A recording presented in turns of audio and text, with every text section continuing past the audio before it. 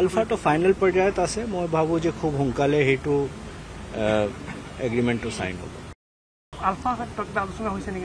আলফাটো final পৰ্যায়ত আছে। মই ভাবোঁ যে খুব সোনকালে সেইটো এগ্ৰিমেণ্টটো চাইন হ'ব। মূল সুঁতিলৈ চবেই আহিছে। আজি যিটো আৰ্থিক সাহায্য কাৰ্যসূচী আছিলে সেইটোত কিছুমানে অহা নাই। চ' কিহৰ কাৰণে অহা নাই সেইটো আমি এনালিচিছ কৰি আছোঁ। হয়তো যে মাজত এন আই এ কেছত বাধাক এৰেষ্ট কৰা হ'ল। সেইটো কাৰণে হয়তো তেওঁলোকৰ মনত এটা কিবা গ্ৰিভান্স থাকিব পাৰে।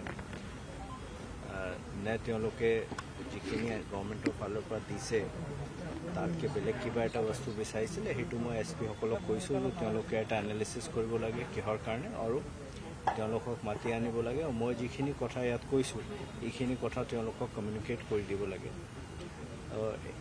কাৰণ আমাৰ কথা এটাই হ'ল যে আমি ব্লেকমেইলিঙত চাৰেণ্ডাৰ নকৰোঁ। আমি কোনো পদে এতিয়া টেৰৰিজম হওক এণ্টি ছ'চিয়েল হওক ক্ৰিমিনেল এক্টিভিটি হওক সেইটো আমি অসমত হ'বলৈ নিদিওঁ। মাননীয় মুখ্যমন্ত্ৰী মহোদয় ইনষ্ট্ৰাকশ্যন একেবাৰে clear honourable union home minister তেখেতেও একেটা কথা কৈছে। আৰু আপোনালোকে দেখিছে যে যোৱা প্ৰায় দুই বছৰ আঢ়াই বছৰ আমি ৰেগুলাৰ যিখিনি বড়োলেণ্ড হওক কাৰ্বি এৰিয়া হওক ডিমাচা এৰিয়া হওক আমি ৱেপন ৰিকভাৰ কৰি আছোঁ। আমি মানে we are virtually digging every inch of land to extract all weapons য'ত ক'ৰবাত কোনোবা যদি লুকাই থৈছে কিবা কৰি থৈছে তেনেকুৱা হাতিয়াৰো আমি ওলাবলৈ চেষ্টা কৰি আছোঁ আৰু আমি সেইটো I am hundred percent sure that will be successful in that আটাইতকৈ মেজৰ ছাৰ মই মোৰ মোৰ যিটো আণ্ডাৰষ্টেণ্ডিং কাৰণ মই সেই বহুতখিনি মিটিং মই নিজে এটেণ্ড কৰিছোঁ আমি প্ৰায় নন হিনাছটো এতিয়া অলৰেডি উইড্ৰ কৰিছোঁ হিনাছৰ ভিতৰতো মই কৈছোঁ যে যিখিনিত আমাৰ সামাজিকভাৱে কোনো অসুবিধা নাই আৰু কোনো মেজৰ তেনেকুৱা এক্ট নহয় যে ক'ৰবাত আৰ্মি পুলিচক মাৰিছে কিবা কৰিছে তেতিয়া এইখিনিও আমি উইড্ৰ কৰিবলৈ মই মই সেইটো তেনেকুৱা পক্ষত আছোঁ আৰু মোৰ ভিউজটো মই হোম ডিপাৰ্টমেণ্টক আৰু A D G S P ডাঙৰীয়াক জনাই দিছোঁ। মোৰ মতে সেইটো লাইনত চলিলে প্ৰায়খিনি আমাৰ উইড্ৰ হ'ব। এটা ইছ্যু আহে যে কিছুমান case prosecution agency C B I নে এন আই এ হৈ আছে।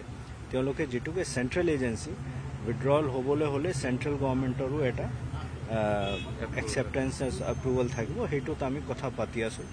ইন এডিশ্যন কিছুমান এনেকুৱা কেছ আছে এন ডি এফ পি হওক এন এল এফ পি হওক যিটো অৰুণাচল প্ৰদেশত আছে। এইখিনি ক্ষেত্ৰত আমাৰ মাননীয় মুখ্যমন্ত্ৰী মহোদয় অলৰেডি অৰুণাচল প্ৰদেশৰ মাননীয় মুখ্যমন্ত্ৰী মহোদয়লৈ চিঠি লিখিছে। আৰু মই ভাবোঁ যে এইখিনিও হৈ যাব লাগে। আমি মানে ঠিক দিশত গৈ আছোঁ।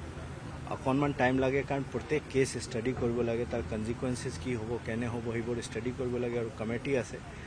কিন্তু মই ভাবোঁ যে মানে অহা ছয় মাহৰ ভিতৰত অকল N D F P N L F P নহয় প্ৰায়খিনি কেছ আমি উইড্ৰ কৰিবলৈ সক্ষম হ'ম except extremely grave cases and those where prosecuting agency is central নিৰ্বাচন আহি গ'লেই বড়োলেণ্ডত যিখিনি ইলিগেল আৰ্মছ ক'ৰবাৰ পৰা ওলাই ক'ৰবাত পুতি থোৱা হ'ব কিবা হ'ব আমি আপোনালোকে দেখিছে যে যোৱা দুই বছৰ আমি বহুত মানে সৰ সংখ্যক যিখিনি হাতিয়াৰ আছিলে সেইটো ওলাই লৈছোঁ।